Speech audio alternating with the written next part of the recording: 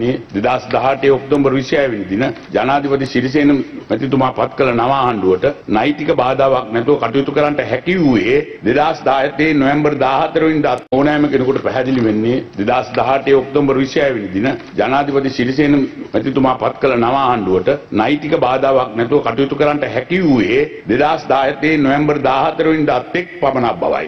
එනම් දින දහනමයක් පමණයි. එසේ වුවත් ජනතාවගේ වාසියට සාහන කීපයක් ලබා දෙන්නට අපිට අපට හැකි වුණා. විශේෂයෙන්ම තෙල් මිල සැලකිය යුතු ප්‍රමාණකින් දෙවරක් අඩු කරන්න හැකිවීම නිසා ජනතාවට විශාල වාසියක් ලැබුණා. පොහොර සානාධාරයෙන් නැවත ක්‍රියාත්මක කිරීමට හැකි වුණු නිසා ගොවීන්ට සහනයක් ලැබුණා. තවත් සහන රාශියක් අප දියත් කරන්නට සූදානම් කර තිබුණාද?